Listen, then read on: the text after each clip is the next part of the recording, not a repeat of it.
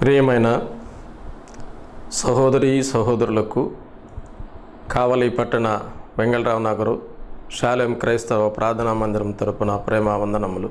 శాలెం క్రైస్తవ ప్రార్థనా మందిరం ద్వారా బ్రదర్ జి శాలెం గారు మనకు దైవ వర్తమానమును అందిస్తారు. కావున మీరు దేవుని యొక్క వాక్యము విని ఆశీర్వాదములు పొందవలసిందిగా మనవి చేస్తున్నాం.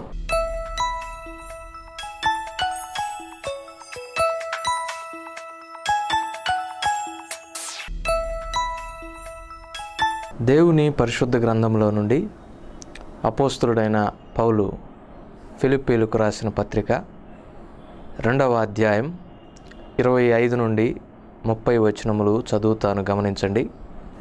మరియు నా సహోదరుడును జతపనివాడును నా తోడి యోధుడును మీ దూతయు నా అవసరమునకు ఉపచరించిన వాడునైన ఎపఫ్రోదీతును మీ వద్దకు పంపుట అగత్యమని అనుకొంటిని. అతడు రోగి ఆయనని మీరు వింటిరి గనుక అతడు మిమ్మల్నందరినీ చూడ మిగుల అపేక్ష గలవాడై విచారపడుచుండెను. నిజముగా అతడు రోగి అయి చావునకు సిద్ధమై ఉండెను గాని దేవుడు అతనిని కనికరించెను. అతని మాత్రమే గాక నాకు దుఃఖము మీద దుఃఖము కలగకుండుటకై నన్నును కనికరించెను. కాబట్టి మీరు అతనిని చూచి మరలా సంతోషించు నిమిత్తమును. నాకున్న దుఃఖము తగ్గు నిమిత్తమును అతనిని మరి శీఘ్రముగా పంపితిని. నా ఎడల మీ ఉపచర్యలో ఉన్న కొదువను తీర్చుటకై అతడు తన ప్రాణమునైనను లక్ష్యపెట్టక క్రీస్తు యొక్క పని నిమిత్తము చావునకు సిద్ధమయుండెను గనుక పూర్ణానందముతో ప్రభునందు అతనిని చేర్చుకొని అట్టి వారిని ఘనపరచుడి. ప్రభు సహాయం కొరకు ప్రార్థన చేసుకుందాం. ప్రేమగల మా ప్రియ పరలోకపు తండ్రి చదవబడిన ఈ వాక్య భాగమును దీవించి మాతో మాట్లాడమని ఈ మనవులు మా ప్రభువును రక్షకుడును మీ అద్వితీయ కుమారుడైన యేసుక్రీస్తు ప్రభు వారి పరిశుద్ధమైన నామంలో ప్రార్థించి అడిగి వేడుకొంచున్నాము తండ్రి. ఆమెన్. ప్రభునందు ప్రియమైన సహోదర సహోదరులారా చదవబడిన వాక్య భాగం అపోస్తుడైన పౌలు భక్తుడు ఫిలిప్పీలకు రాసినటువంటి పత్రికలోనిది. పౌలు భక్తుడు రోమాచెరలో క్రీస్తు శకం అరవై ఒకటో సంవత్సరం నుండి అరవై నాలుగో సంవత్సరం వరకు ఉంటాడు. ఈ పత్రికను అపోస్తులుడైనటువంటి పౌలు భక్తుడు క్రీస్తు శకం అరవై రెండవ సంవత్సరంలో రాసినట్లుగా బైబిల్ పండితులు నిర్ధారించారు.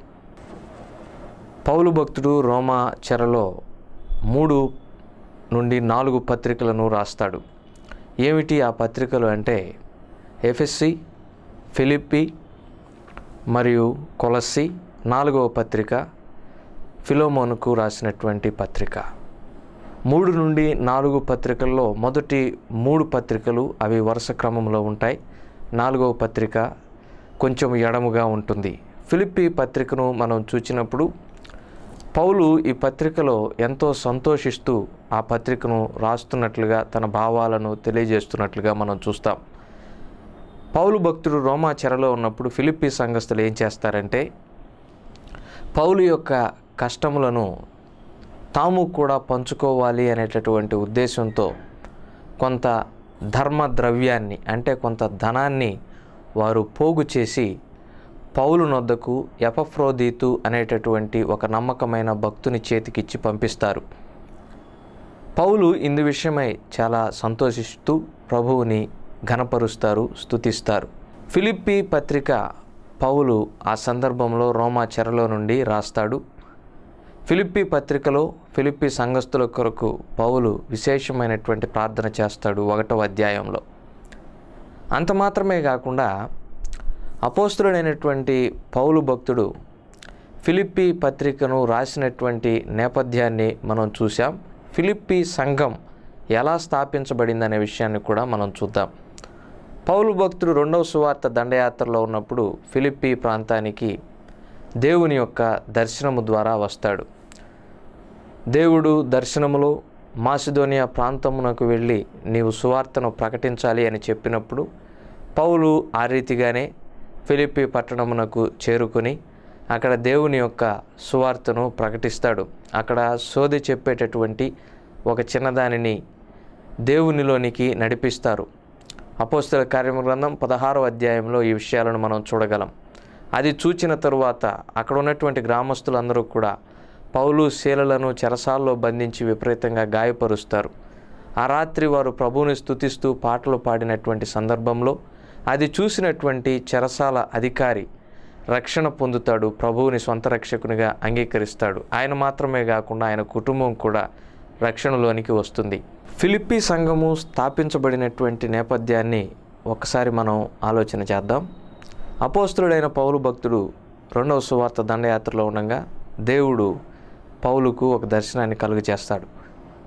ఆ దర్శనంలో దేవుడు ఏమని చెప్తారంటే నువ్వు మాసిదోనియా ప్రాంతంలోకి వెళ్ళి సువార్త ప్రకటించాలి అని చెప్పినప్పుడు పౌలు ఆ రీతిగానే మాసిదోనియా ప్రాంతానికి వెళ్ళి అక్కడ ఫిలిప్పి పట్టణంలో దేవుని యొక్క సువార్తను ప్రకటిస్తాడు. ఫిలిప్పీ ప్రదేశంలో సోది చెప్పేటటువంటి ఒక చిన్నదానిని ప్రభువులోనికి నడిపించిన తరువాత అక్కడ ఉన్నటువంటి గ్రామస్తులందరూ కూడా పౌలు శైలులను బంధించి విపరీతంగా కొట్టి చెరసాలలో పడవేస్తారు. ఆ రాత్రి వాళ్ళు ప్రభువుని స్థుతిస్తూ పాటలు పాడతారు. చెరసాల అధికారి దేవుని యొక్క ఈ ఆశ్చర్యక్రియను చూచి ప్రభువులోనికి వస్తాడు. అతడు కూడా రక్షించబడతాడు. ఈ సంఘటనలన్నీ కూడా అపోస్తుల కార్యాల గ్రంథం పదహారో అధ్యాయంలో మనం చూడగలం. ఆ సందర్భంలో చెరసాల అధికారి రక్షించబడి ఫిలిప్పులో ఉన్నటువంటి మరికొంతమంది ప్రభువు నెరిగినటువంటి సహోదరుల ద్వారా ఫిలిప్పు పట్టణంలో ఒక సంఘం స్థాపించబడుతుంది. ఆ ప్రకారముగా అపోస్తుడైన పౌలు భక్తుడు ఫిలిప్పి సంఘ స్థాపన విషయంలో దేవుని కృపను బట్టి ఒక ప్రధానమైన పాత్రను పోషిస్తాడు. మూడవ సువార్త దండయాత్రలో కూడా పౌలు భక్తుడు మరి రెండు పర్యాయములు ఫిలిప్పి పట్టణానికి వస్తాడు. అంటే పౌలు భక్తుడు తన జీవితంలో మొత్తం మీద మూడు సార్లు ఫిలిప్పి పట్టణానికి వస్తాడు. ఫిలిప్పి పట్టణముతో ఫిలిప్పి సంఘస్థులతో పౌలుకు ఎంతో అద్భుతమైన చక్కటి ఆధ్యాత్మిక ఆత్మీయమైనటువంటి అనుబంధం ఉంది. అలాగైతే ఫిలిప్పి సంఘములో ఉన్నటువంటి ఒక నమ్మకమైన పరిచారకుని విషయమై పౌలు భక్తుడు తెలియచేస్తూ ఉన్నాడు. అతనిని గురించి ఈ సమయంలో మనం ధ్యానం చేద్దాం. ఆ వ్యక్తి పేరేమిటంటే ఎఫఫ్రోదీతు ఎఫఫ్రోదీతు అనగా మనోహరమైన అని అర్థం. ఎఫఫ్రోదీతు జీవితంలో చాలా ఆత్మీయ సుగుణాలు ఉన్నాయి. కానీ సమయ భావాన్ని బట్టి ఒక నాలుగింటిని మనం ఈ సమయంలో ధ్యానం చేద్దాం. మొదటిగా ఎఫఫ్రోదీతు ఎలాంటి వాడు అనే విషయాన్ని చూద్దాం. ఫిలిప్పి పత్రిక రెండో అధ్యాయం ఇరవై ఐదో వచనం. మరియు నా సహోదరుడును జత పనివాడును నా తోడి యోధుడును మీ దూతయు నా అవసరమునకు ఉపచరించిన వాడునైనా. మొదటి మాటను మనం చూస్తున్నాం ఎఫఫ్రోదీతుని గురించి ఏమని రాయబడిందంటే అతడు అవసరములలో ఉపచరించేవాడు. ఒక వ్యక్తి యొక్క గుణం బయటపడేది మన యొక్క అవసరతల్లోనే. ఎవరైనా ఏదైనా ఇబ్బందుల్లో ఉన్నప్పుడు కష్టాల్లో ఉన్నప్పుడు సమస్యల్లో ఉన్నప్పుడు అంతవరకు ప్రేమ చూపినటువంటి వారు ఆదరించినటువంటి వారు కలిసిమెలిసి తిరిగేటటువంటి వారు చివరికి ప్రాణ స్నేహితులు అని నమ్మబలికిన వారు సహితము మన యొక్క అవసరతల్లో మనల్ని విడిచిపెట్టేస్తారు. అధిక మంది ఇలాంటి పనులు చేస్తూ ఉంటారు. అయితే అవసరంలో ఎవరు ఆదుకుంటారో వారే నిజమైనటువంటి మానవత్వం కలిగిన వారు. వారే మనకు నిజమైనటువంటి ఆత్మీయులు. ఎఫఫ్రోదీతు కూడా అటువంటి వాడే. ఎఫఫ్రోదీతు ఎలా ఉన్నాడంటే పౌలు యొక్క అవసరతల్లో ఉపయోగపడిన వాడుగా ఉంటూ ఉన్నాడు. అవసరతల్లో ఉపయోగపడటం అంటే పౌలు ఉన్నది ఎక్కడ? రోమా చెరసాల్లో. జైల్లో ఉన్నటువంటి ఒక ఖైదీకి పూర్తిగా ప్రపంచానికి దూరమైపోయి ఆ చెరసాలలో ఒక భయంకరమైనటువంటి జీవితమును వేదనకరమైనటువంటి ఆందోళనకరమైనటువంటి జీవితమును జీవిస్తున్న నేపథ్యంలో అతనికి ఎంతో ఉపకారము చేసేటటువంటి వారు కావాలి సహాయపడేటటువంటి వారు కావాలి.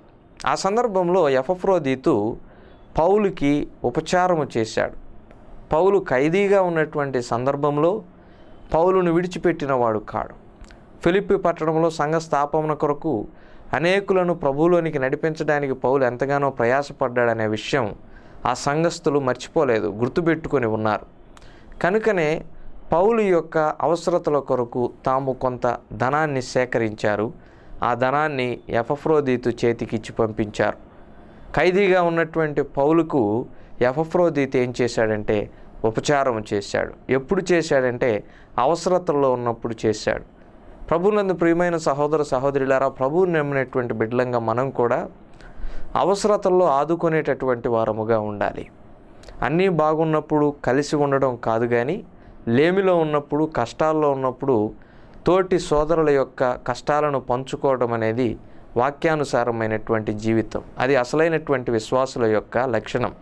అలా కాక ప్రభువుని ఇరిగి ఉన్నామని చెప్పుకొనుచు తోటి సోదరులు ఇబ్బందుల్లో ఉన్నప్పుడు వారిని నిలువున మనం వదిలిపెట్టేస్తే ప్రభువు బిడ్డలం కాదు. దేవుని యొక్క వాక్యం కూడా దానికి సమ్మతించదు.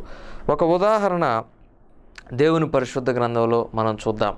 అపోస్తుల కార్యము గ్రంథం ఇరవై ఎనిమిదో అధ్యాయం మొదటి రెండు వచనాలు చదువుతాను గమనించండి. మేము తప్పించుకున్న తరువాత ఆ ద్వీపము మెలితే అని తెలుసుకుంటుమి.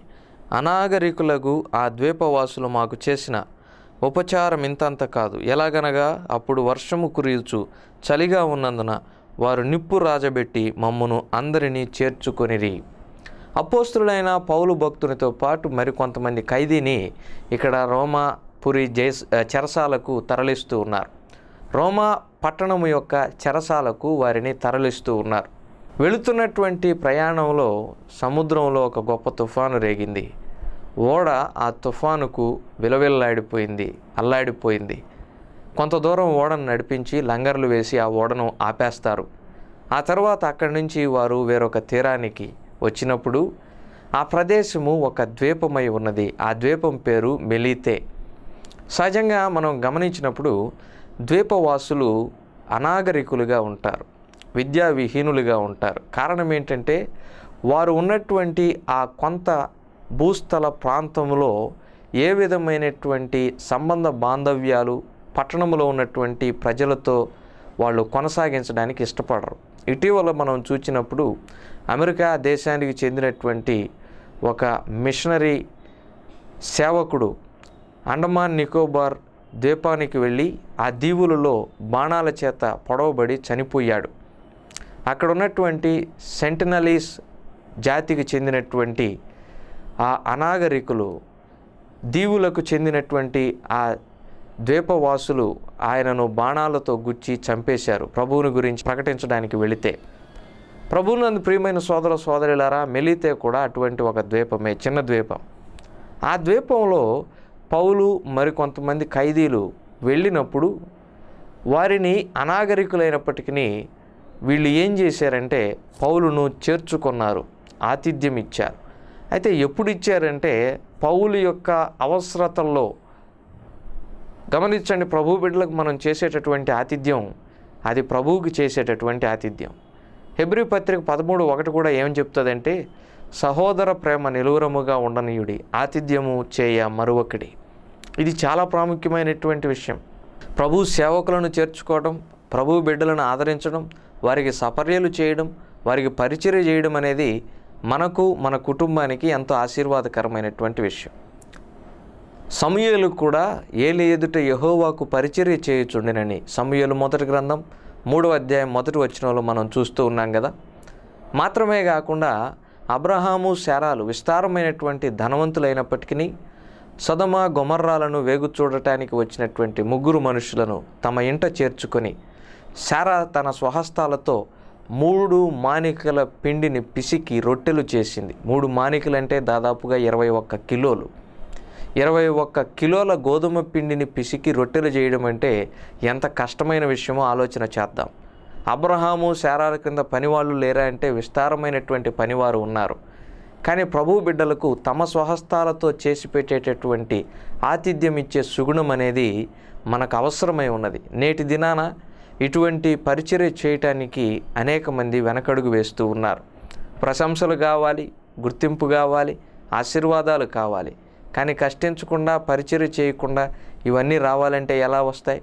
పని చేయకుండా జీతం ఒక వ్యక్తికి ఎవరిస్తారు? గమనించండి మెలితే ద్వీపవాసులు వాళ్ళు అనాగరికులే విద్యావిహీనులే. అయినప్పటికీ కూడా ప్రభు బిడ్డలను చేర్చుకొని పరిచర్య చేస్తూ ఉన్నారు. చేర్చుకోవడం అంటే వాళ్ళ యొక్క హృదయాల్లో చేర్చుకున్నారు. ప్రభు బిడ్డలను హృదయాల్లో చేర్చుకోవడం అంటే ప్రభువుని హృదయంలో చేర్చుకొని పరిచర్య చేయడమే. అకుల ప్రిస్కిల్లాలు కూడా గమనించినప్పుడు సంఘాన్ని తమ యొక్క ఇంట చేర్చుకున్నారు. మాత్రమే కాకుండా పేతురు చెరసాల ఉన్నప్పుడు మార్కు అనబడిన యోహాను యొక్క తల్లి సంఘమును ఇంట చేర్చుకుంది. మరి ప్రభు బిడ్డలను ఇంట చేర్చుకున్నప్పుడు మన గృహాలు వర్ధిల్లతాయి ఆశీర్వదించబడతాయి. మనం కూడా అభివృద్ధి చెందుతాం. ప్రభు బిడ్డలను చేర్చుకున్నవారు ప్రభువుని చేర్చుకున్నవారే. అవసరతల్లో ఆదుకున్నప్పుడు ప్రభు ఖచ్చితంగా దానికి ప్రతిఫలం దయచేస్తాడు. మరి ప్రభునందు ప్రియమైన సహోదర సహోదరులారా దేవుని యొక్క వాక్యం కూడా ఈ విధంగా చెప్తూ ఉంది. బేదలను కనికరించువాడు యహోవాకు అప్పిచ్చువాడని. దేవునికి అప్పిస్తే ఆ అప్పుని ఆయన ఊరికినే ఉంచుకుంటాడా? సర్వసృష్టికర్త అయిన దేవుడు దానికి పదింతలు తిరిగి ఇస్తాడు. కనుక అవసరతల్లో ఆదుకోవటం అలవర్చుకుందాం. కష్టాల్లో ఉన్న వారిని ఆదరిద్దాం. చేర్చుకుందాం. పరామర్శిద్దాం. విద్య లేనటువంటి మెలితే ద్వీపవాసులు ఈ పాఠాన్ని మనకు నేర్పిస్తూ ఉన్నారు. ఎఫఫ్రోదీతు కూడా పౌలు యొక్క కష్టాల్లో పౌలుని ఆదరించినవాడు. పౌలుకి ఉపచరించినటువంటి వాడు. అవసరతల్లో పరిచర్య చేసినటువంటి వాడు. ఈ సుగుణం మనం కూడా కలిగి ఉందాం. ఎఫఫ్రోదీతు అవసరతల్లో ఉపచరించినటువంటి వాడు. రెండవ లక్షణం మనం చూద్దాం. ఎఫఫ్రోదీతు ఎటువంటి వాడు అని అంటే ఫిలిప్పి పత్రిక రెండో అధ్యాయం ఇరవై తొమ్మిది ముప్పై వచనాలు చదువుతాను. గమనించండి. నా ఎడల మీ ఉపచర్యలో ఉన్న కొదువను తీర్చుటకై అతడు తన ప్రాణమునైనను లక్ష్య పెట్టక ఉపచర్యలో ఉన్నటువంటి కొదువను తీర్చుటకై ప్రాణమునైనను లక్ష్య పెట్టని వాడు ఎఫఫ్రోదీతుకున్నటువంటి రెండవ సుగుణం ఏమిటంటే కొదువను తీర్చేవాడుగా ఉంటూ ఉన్నాడు. ఎక్కడ కొరతలు ఏర్పడతాయో ఎక్కడ లోటు ఉంటుందో ఎక్కడ ఇబ్బంది ఉంటుందో దానిని తీర్చేవాడుగా ఎఫఫ్రోదీతు ఉంటూ ఉన్నాడు. పరిచర్యలో మనం కూడా అలాగే ఉండాలి. కొలసీ పత్రికలో ఒక మంచి మాట మనం చూస్తాం. గమనించండి. ఒకటో అధ్యాయం ఇరవై నాలుగో వచ్చినం ఇప్పుడు మీ కొరకు నేను అనుభవించుచున్న శ్రమల ఎందు సంతోషించుచు సంఘము అను ఆయన శరీరము కొరకు క్రీస్తు పడిన పాటలలో కొదువైన వాటి యందు నా వంతు నా శరీరమందు సంపూర్ణము చేయుచున్నాను. పౌలు భక్తుడు రాసిన ఈ మాటలో ఉన్నటువంటి అర్థం ఏంటంటే యేసుక్రీస్తు ప్రభువారు తన శరీరమందు ఏ విధముగా శ్రమలను అనుభవించి సంఘాన్ని ఏర్పరిచారో సంఘము ఆయన శరీరమై ఉండగా ఆ యొక్క సంఘములో ఉన్నటువంటి కొద్దిపాటి కొదువలు అనగా ప్రభువు సంపూర్ణము చేసినటువంటి పరిచర్యలో ఉన్న కొదువలను తీర్చటానికి పౌలు ప్రయాసపడుతున్నానని చెబుతూ ఉన్నాడు. మన పరిచర్య ఎలా ఉండాలంటే కొదువులను తీర్చే పరిచర్యగా ఉండాలి కానీ కొదువులను పెంచేటటువంటి పరిచర్యగా ఉండకూడదు. సంఘంలో మనం ఎలా ఉండాలి అని అంటే లోటులను భర్తీ చేసే వారంగా ఉండాలి. సమాధానాన్ని కలగజేసే వారముగా ఉండాలి. అంతేకాని లోటును పెంచేటటువంటి వారముగా బీటలు వారినటువంటి గోడను మరింత పగలగొట్టేటటువంటి వారముగా మనం ఉండకూడదు. పౌలు భక్తుడు కూడా ప్రభువు విడిచిపెట్టిన దానిలో కొదువైనటువంటి దానిని పూర్తి చేయటానికి అతడు ఎంతగానో ప్రయాసపడుతూ ఉన్నాడు. ఆ పనిని పూర్తి చేశాడు. కనుకనే నీతి కిరీటాన్ని పొందుకున్నాడు.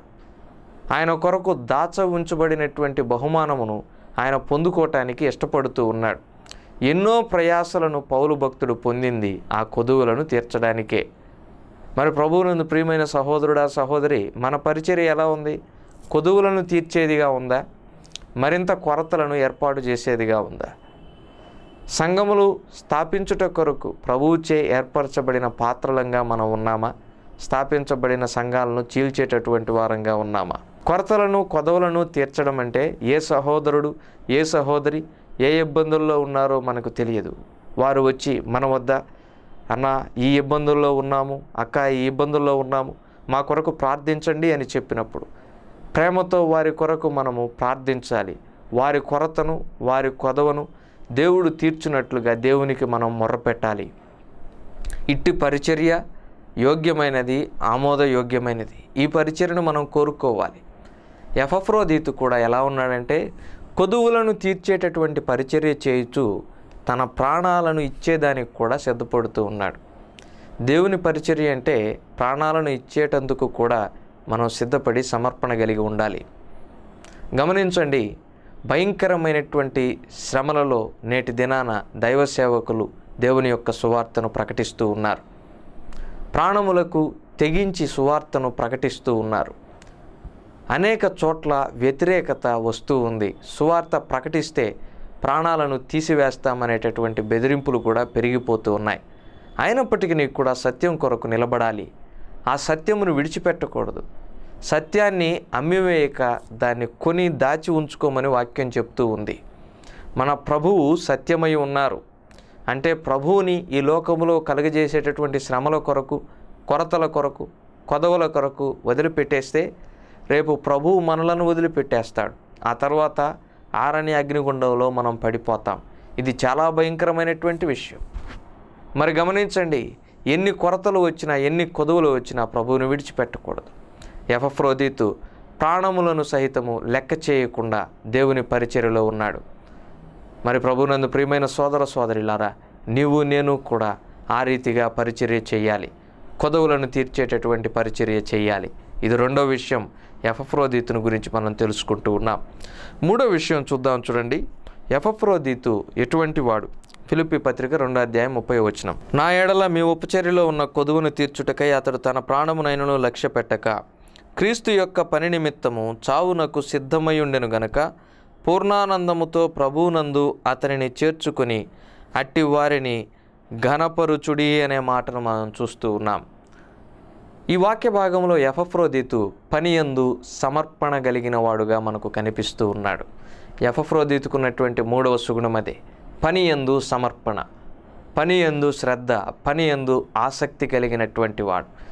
సమర్పణ కలిగినటువంటి పనివారు కొదువైపోతూ ఉన్నారు. ప్రభువు కూడా కోరుకుంటూ ఉన్నారు. కోత ఏమో విస్తారంగా ఉంది. పనివారు కొద్దిమందే ఉన్నారని. మరి పనివారు లేక దేవుని యొక్క పరిచర్యలో కొరత ఏర్పడింది. ఆ కొరతను ఆ కొదవను తీర్చేటటువంటి బాధ్యత తీసుకోవాల్సింది నీవు నేనే. ఎఫఫ్రోదీతు బాధ్యత కలిగినటువంటి పనివాడుగా ఉంటూ ఉన్నాడు. మరి నీవు నేను ఎలా ఉన్నాం? ప్రభునందు ప్రియమైన సహోదర సహోదరులారా ఒకసారి ఆలోచన చేసుకుందాం. స్వపరిశీలన చేసుకుందాం. మనల్ని మనం ఒకసారి ప్రశ్నించుకుందాం. మనము ఇంతటి సమర్పణ కలిగి పని చేయొచ్చు ఉన్నామా దేవుని మందిరంలో సమర్పణ కలిగినటువంటి పనివారు ప్రభు పైన ఆనుకున్నవారు ప్రభువుని హత్తుకొని జీవించేటటువంటి వారు. వారు దేవుని పని విషయంలో ఎంతో ప్రయాసపడతారు. తమ యొక్క ఇష్టాయిష్టాలను పక్కన పెడతారు. తమ సొంత లాభాలను పక్కన పెడతారు. దేవుని పని కొరకే తమ్మును తాము సమర్పించుకుంటారు. పౌలు భక్తుడు అంటాడు ప్రభువు యొక్క పరిచర్యలో ఏవి లాభకరములో వాటిని నేను నష్టములుగా ఎంచుకొని ఉన్నాను. గమనించండి పౌరు భక్తుడు ఎలాంటి వాడు? ధర్మశాస్త్ర కోవిదుడు. గమలియేలు పాదముల దగ్గర ధర్మశాస్త్రాన్ని ఆవుపోసన పట్టినటువంటి వాడు. తండ్రి ఒక గొప్ప వ్యాపారస్తుడు. ధనం ఉంది విద్య ఉంది యవనస్తుడు రోమా ప్రభుత్వంలో ఉద్యోగం ఉంది. వీటన్నిటినీ కూడా ఆయన నష్టములుగా ఎంచుకున్నాడు. ఎంత గొప్ప సమర్పణ కలిగిన వాడు పని పట్ల?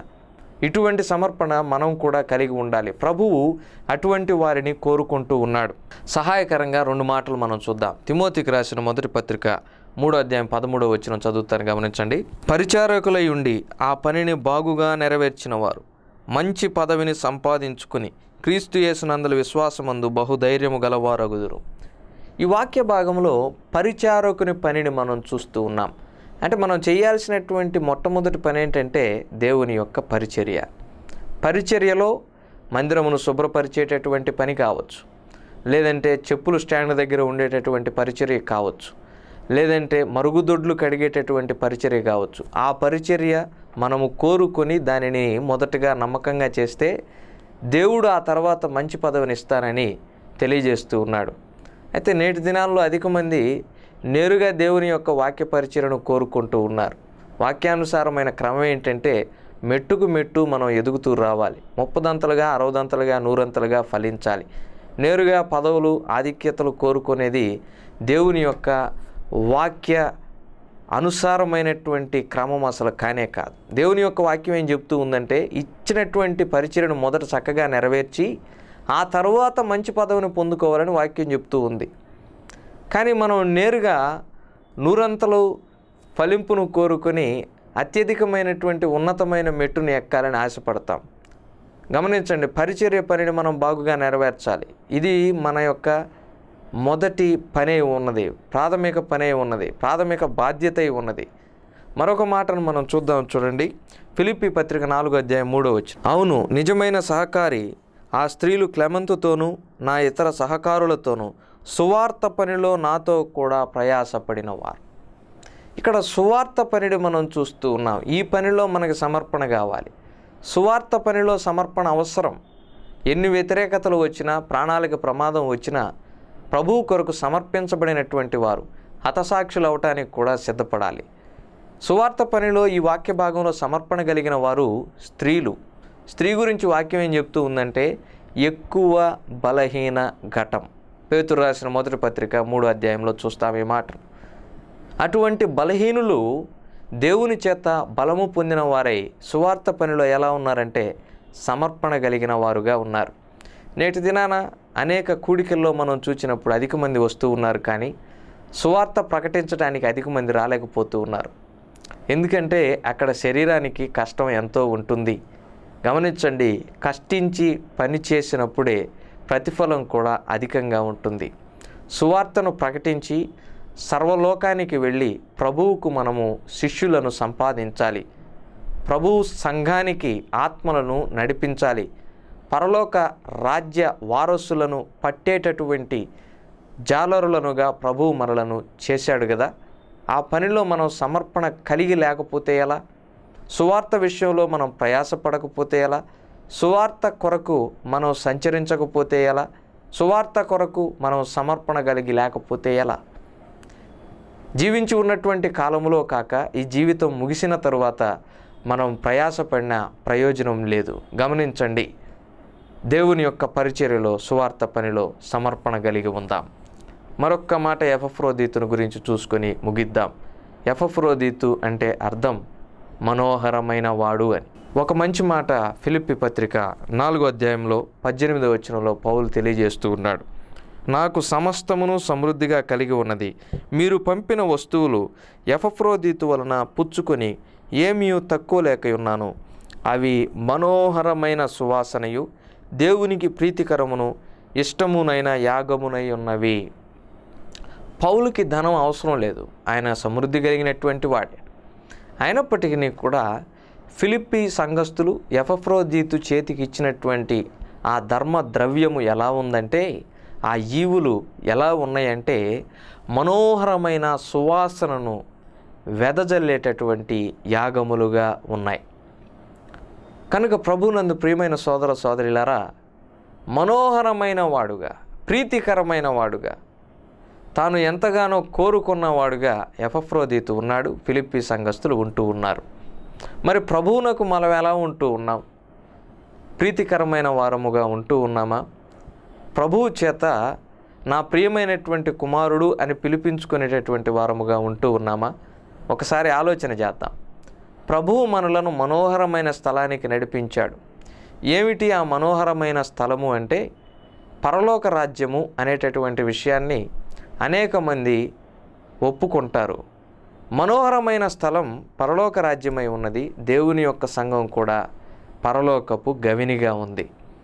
మనోహరమైన స్థలం జీవము కలిగినటువంటి దేవుని సంఘమే. ఆ సంఘానికి ప్రభు మనలను నడిపించాడు. ఈ విషయాన్ని మనం మర్చిపోకూడదు. మనోహరమైన స్థలానికి ప్రభు మనలను చేర్చాడు. మనోహరమైన స్థలములలో నివసించేటటువంటి వారు ప్రభువుకు ప్రీతిపాత్రులైనటువంటి వారై ఉండాలి. ప్రభువుకు ఇష్టకరమైన వారై ఉండాలి. అలా కాకుండా ప్రభు నామానికి అవమానాన్ని అపకీర్తిని తెచ్చేటటువంటి భ్రష్టులుగా దౌర్భాగ్యులుగా ఉండటానికి వీలు లేదు. దేవుడు ఎంతగానో ఆయాసపడుతూ ఉన్నారు. కారణం ఏంటంటే మనలను బట్టే ప్రభునామం అన్ని జనుల మధ్య దూషించబడుతూ ఉంది. రోమపత్రికలో ఈ మాటలు మనం చూస్తూ ఉన్నాం. మన మాటలు మన చూపులు మన తలంపులు మన క్రియలు ప్రభువుకు మహిమను తెచ్చేవిగా నేటి దినాన ఉండటం లేదు. అధిక మంది ప్రభు యొక్క వాక్య విరుద్ధమైనటువంటి క్రియలు చేయొచ్చు. ప్రభువుకు ఘోరమైనటువంటి అపకీర్తిని అవమానాన్ని తెస్తూ ఉన్నారు. అట్టి వారిలో నీవు ఉన్నట్లయితే ఇప్పుడే జీవితాన్ని సరిచేసుకొని తొలగిపోయినటువంటి మార్గంలో నుండి మరలా ప్రభు చెంతకు చేరి వచ్చినట్లయితే నీవు సహితము ప్రభువుకు మనోహరమైన వాడవుగాను మనోహరమైన దానవుగాను ఉంటావు. ఎఫఫ్రోదితు ప్రభువుకు మనోహరమైన వాడుగా ఉన్నాడు. మరి నీవు నేను? కేవలం మనుషులకు మాత్రమే మనోహరమైన వాళ్ళముగా ఉంటే ప్రయోజనం లేదు. గలతి ఒకటి పదిలో పౌలు అంటాడు నేను ఇంకను మనుషులను సంతోషపెట్టగోరుచున్నానా?